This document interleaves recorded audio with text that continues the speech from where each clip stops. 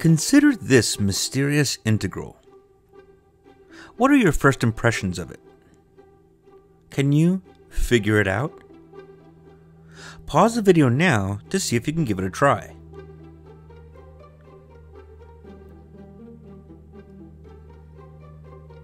Alright, here we go.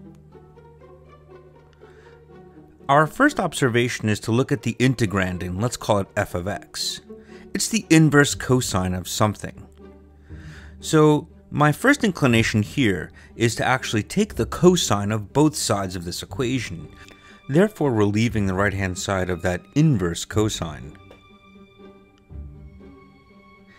Now, we're going to take a look at that cotangent squared and rewrite it using an identity. We'll rewrite this as cosine squared over sine squared.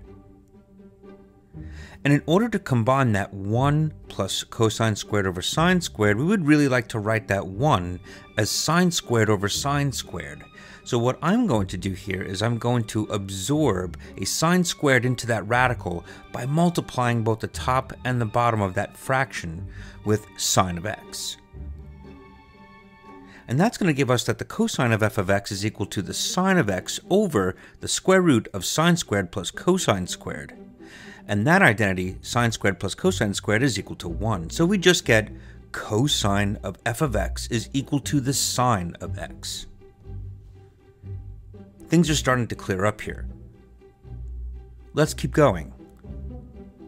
So now, using the cofunction for sine of x, that is cosine of pi over 2 minus x, we can then draw the conclusion that f of x is really pi over 2 minus x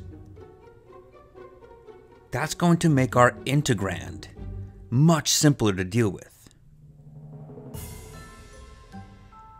So now let's go ahead and make that substitution into our integral.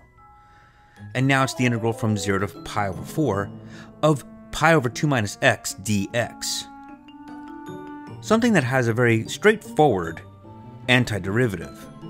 And evaluating the antiderivative from 0 to pi over 4 using the fundamental theorem of calculus.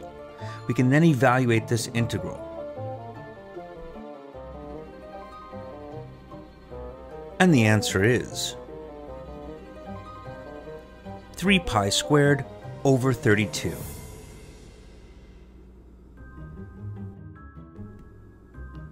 Pretty intriguing. Hey, I hope you liked this video. Please hit that like, subscribe, and notification bell for more videos and stay tuned for the next one. Thanks for watching.